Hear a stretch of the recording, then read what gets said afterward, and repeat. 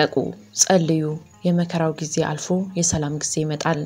አንዳችም ነገር ቢሆን ጳጳስም ቢሆን ቄስም ሊሆን ይችላል ወዘተ በዓለም ያለው መንግስትማ ከምንም አይጻፍም። መልካም የሆነውን ስራ እያያችሁና እየተመለከታችሁ በፍሬያቸው እወቋቸው። በስማቸውና በልብሳቸው ፈጽሞ ማንነታቸው አይታወቅም።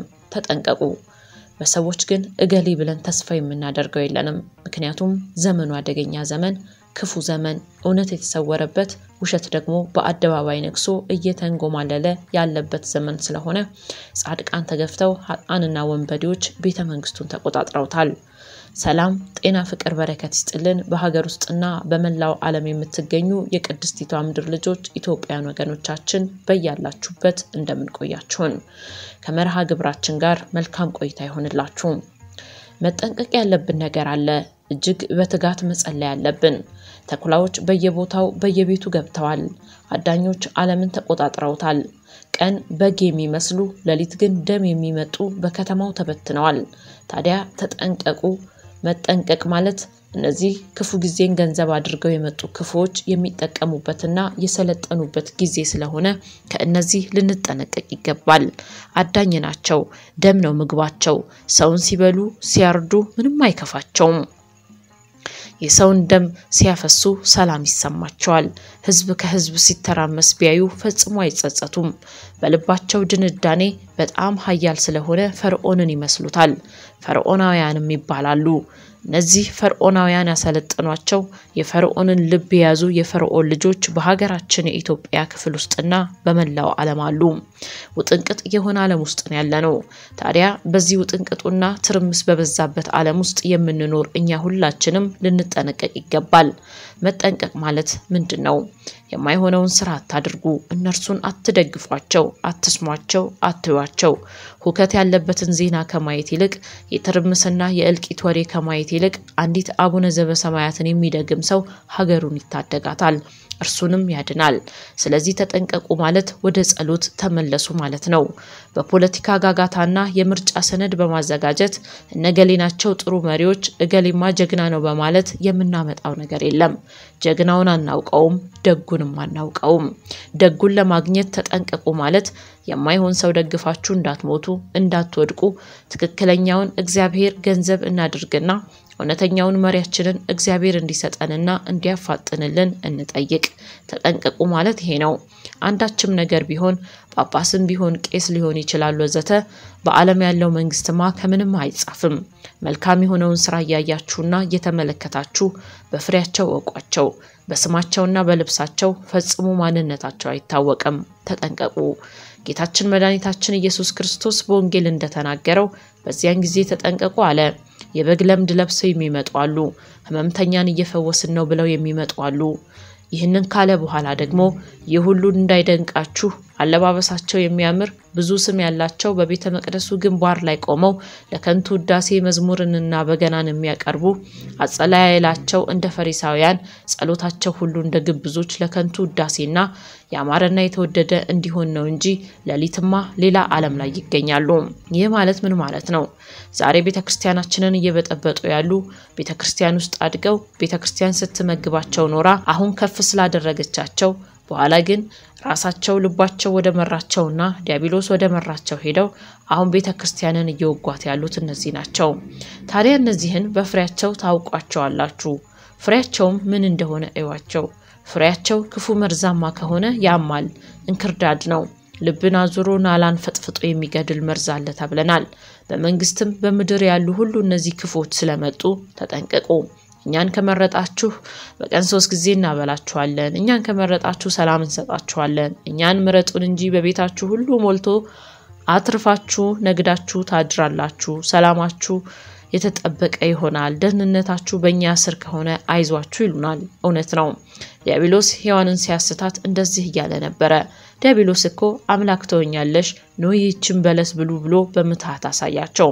ዛሬም ቢሆን የሰውን ልጅ ወደ ጨለማ ለመውሰድ የውሸት ዶክመንተሪና የዲያብሎስ አበጋዝ የሆኑ ሳይንቲስቶች በደረሷቸው ሴራዎች የሰውን ልብ በማሸፈት ይሄ ነው ልኩ በማለት የሰውን አእምሮ በቴክኖሎጂ እያታለሉ ሰው ከራሱ ጋር እንዲጣላ፣ ሰላም እንዳያገኝና እንቅልፍ እንዳይተኛ የሚያደርጉ ክፉዎች በዓለም ተበትነዋል። ስለዚህ ሁላችንም መጠንቀቅ መቻል አለብን። ጸልዩ፣ በዓለም ላይ ተበትነዋል። ስለ እነዚህ ከእነዚህ መጠንቀቅ መቻል አለብን። በዓለም ላይ ይህንን ሁሉ ብትሰሙ የሚያውለንና የሚያሳድረን ተኝተን እንድንነቃ የሚያደርገን ንጹሕ አየርን እየሰጠን ያለ ስስትና ያለ ገደብ ብሔርና ቋንቋ ሳይለይ እየመገበን ያለው ሁሉን የሚችል እግዚአብሔርን ተስፋ ማድረጋችን ለእኛ መልካም ነው። በሰዎች ግን እገሌ ብለን ተስፋ የምናደርገው የለንም። ምክንያቱም ዘመኑ አደገኛ ዘመን ነው።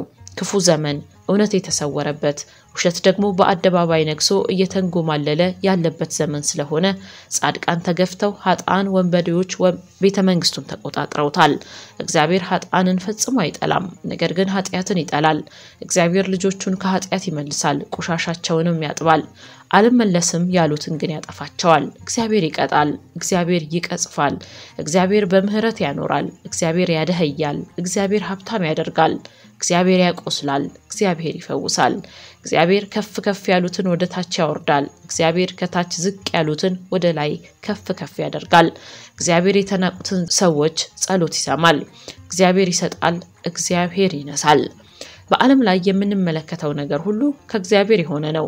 ስለዚህ ሰው ሲበድል፣ ሲያምፅ፣ ኃጢአቱ ሲበዛበት፣ መንግስት በህዝብ ላይ ሲያምፅ፣ ህዝብ በመንግስት ላይ ሲያምፅ፣ ህዝብና ህዝብ መስማማት ሲያቅተው የዚያን ጊዜ ከእኛ በፍቅር በጽናትና በጽድቅ ይጎበኘን የነበረው መንፈስ ቅዱስ ሲርቀን ሁከት የሚወደው ዲያብሎስ ይጠጋናል። የዚያን ጊዜ ኑሯችን ሰላም የለውም፣ ቤታችን ሰላም አይኖረውም። መልካም ነገር ልናደርግ ስንል እንዳናደርግ እጃችን ይታሰራል። መንፈስ ቅዱስ ያለባቸው ሰዎች የዋሃንና ብሩካን ናቸው። ምክንያቱም ክርስቶስ ሁሉንም ሰጥቶናልና። ክርስቶስን የሚመስሉ ክርስቲያኖች የዋሆች ናቸው። የዋህ ሰው መልካም ሲያደርግ ውለታን አይጠይቅም። የዋህ ሰው በጎውን ነገር ሲያደርግ ከማንም ምንም ጠብቆ ሳይሆን መልካም ማድረጉ ለሱ ደሞዙ ስለሆነ ይህንን ዋጋ አድርጎ ያደርጋል እንጂ ውለታንና ምስጋናን አይፈልግም። እግዚአብሔር ለየዋሃን ምድርን ርስት አድርጌ ሰጣቸዋለሁ አለ። መንግስተ ሰማያትን ለዘላለም ቤታቸው አድርጌ ሰጣቸዋለሁ አለ። ይህ ማለት ብልጦች በቀመር የሚያደርጉ ሰዎች ሁሉ በረከት የሚያገኙ አይደሉም። ዛሬ ተራቁተናል፣ ተሰደናል፣ ሐዘንም ልባችንን ሰብሮታል። መተማመንና ሰላም፣ ፍቅርና አንድነት የለንም። ሰው ሁሉ ከአንገት በላይ ይኖራል። ነቢየ እግዚአብሔር ዳዊት እንዳለው በዓለማችን ላይ ያሉትን ክፉዎችን ሲገልጻቸው በአፋቸው መልካም ነገር ያወራሉ፣ በአደባባይ ተሰብስበውም በጎ እንደሚያደርጉ ሲማከሩ ይታያሉ አለ። በልባቸው ግን ክፋትና ተንኮል፣ ሁከትና አድመኝነት አለ ይላል። ያ ዘመን አሁን ያለንበት ነው። ተጠንቀቁ። እኛን በአደባባይ እንዲህ እናደርግላችኋለን የሚሉት አይደሉም ሰላም የሚሰጡን። ሰላም የሚሰጡን እውነተኞች ስለሆኑ የተገፉትና የአባቶቻችን ጸሎት ሰላምን ያመጣልናል። ተምረው የሚገፉት ደግሞ ከቤተ ክርስቲያን ተሰደው የቀን ስራ እየሰሩ የሚያለቅሱት የእነዚያ ሰዎች ዳዊትና ሰላም ለኪ ጸሎታቸው ይረዳናል። በዘመናዊ ትምህርትም ቢሆን ሳይንቲስት ዶክተር ሆነው ማስተዳደርና መምራት እየቻሉ ነገር ግን ለወንበዴዎቹ የማይመቹ ስለሆኑ በእስር ቤት የተጣሉ ወንድሞቻችን አባቶቻችን አሉ። የተገደሉም አሉ፣ የተገፉም አሉ፣ ሀገር ለቀው ሄዱም አሉ። ከእነዚህ ሁሉ ተጠንቀቁ ማለት ይህ ሁሉ የሚደረግበት ክፉ ጊዜ ላይ ስለሆንን ጸልዩ፣ ወደ እግዚአብሔር እንመለስ። የመከራው ጊዜ አልፎ የሰላም ጊዜ ይመጣል። የሰላምን ጊዜ የሚያመጣልን ሰላማዊ የሆነ ሁሉን የሚችል እግዚአብሔር እንጂ በምድር ያስቀመጥናቸውና ካርድ አውጥተን የመረጥናቸው አይደሉም። እግዚአብሔር ለእኛ የሚያመጣልን መሪና እውነተኛው መሪ ከእግዚአብሔር ስለሆነ እኛ የምንመርጠው አይደለም። ከእግዚአብሔር የተሰጠንን መሪ ደግሞ ሁሉን አሜን ብሎ ይቀበለዋል። በምርጫ የሚሆኑ መሪዎች ሁሉ እዩዋቸው። ከመመረጣቸው ጊዜ አንስቶ የምርጫ ፉክክር እስከ ማድረጋቸው ድረስ በሁለት ወገን ተከፋፍለው ነው። እገሌ ክፉ ነው በማለት ራሱን እንደ ጥሩ የሚያቀርብ ነው። በትህትና የተመረጡ ስላልሆኑ በትዕቢት ስላሸነፉና እነሱ የበላይ የሆኑ የሚመስላቸው የዲያብሎስ ወገኖች ናቸው። ቅዱስ ሚካኤል በትህትናው የመላእክት አለቃ ሆኗል። ዲያብሎስ ደግሞ በትዕቢቱ መቀመቅ ወርዶ በርባኖስ ገብቷል። ወደ ላይ ከፍ ያለ ሲመስለው ወደ ታች ዝቅ ዝቅ እያለ ወርዶ ተንኮታክቶ በርባኖስ ውስጥ ይገኛል። ከምድር ባለ ከምድር ስር ባለ ጥልቅ ጨለማ ውስጥ ታስሯል። ዛሬም ቢሆን በቤተ ክርስቲያንም ሆነ በሌላኛው ዓለም ራሳቸውን ከፍ የሚያደርጉና ራሳቸውን እያቆለጳጰሱ በከንቱ ውዳሴ የሚክቡ ሰዎች በጎነታቸውን እነርሱ ስለተናገሩት ብቻ በጎ ነገር ይቀርባቸዋል።